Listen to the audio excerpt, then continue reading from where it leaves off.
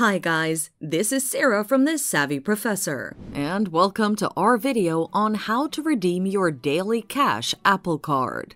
Watch until the end of the video to learn how you can easily redeem your Daily Cash Apple Card. So, how can you redeem your Daily Cash Apple Card? 1. Redeem your Daily Cash Apple Card through Apple Pay. The easiest way to redeem your daily cash is to spend it through your Apple Pay. This means using your daily cash rewards as a payment method on your wallet app. You'll just need to follow the same procedure you always follow when making payments in your wallet at the stores that accept Apple Pay. You can also send it to your friends through the Message app. Redeem your daily cash by sending it to your bank account. 1. Open your Wallet Apple on your iPhone. 2. Select the option Apple Cash Card. 3. Tap the three dots at the bottom of the screen.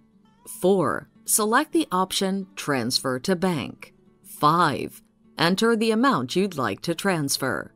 6. Select the option Next. 7. Choose the transfer speed. If you want it to be instant, you'll need to pay a 25 cent fee. However, you can make the transfer for free and wait 1 to 3 business days before it's completed. 8. Tap the transfer icon and select Confirm. Redeem your daily cash by paying your Apple Card balance. 1. Open the Wallet app on your iPhone. 2. Select the option Apple Card. 3. Go to Pay. 4. Enter the amount you'd like to pay. It is good to note that you need to make immediate payments with Apple Cash.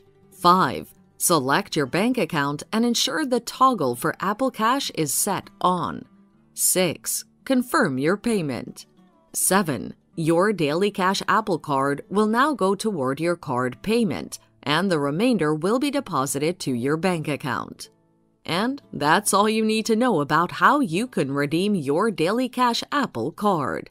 Don't forget to like, share, comment, and subscribe to our channel for similar videos. Thanks for watching.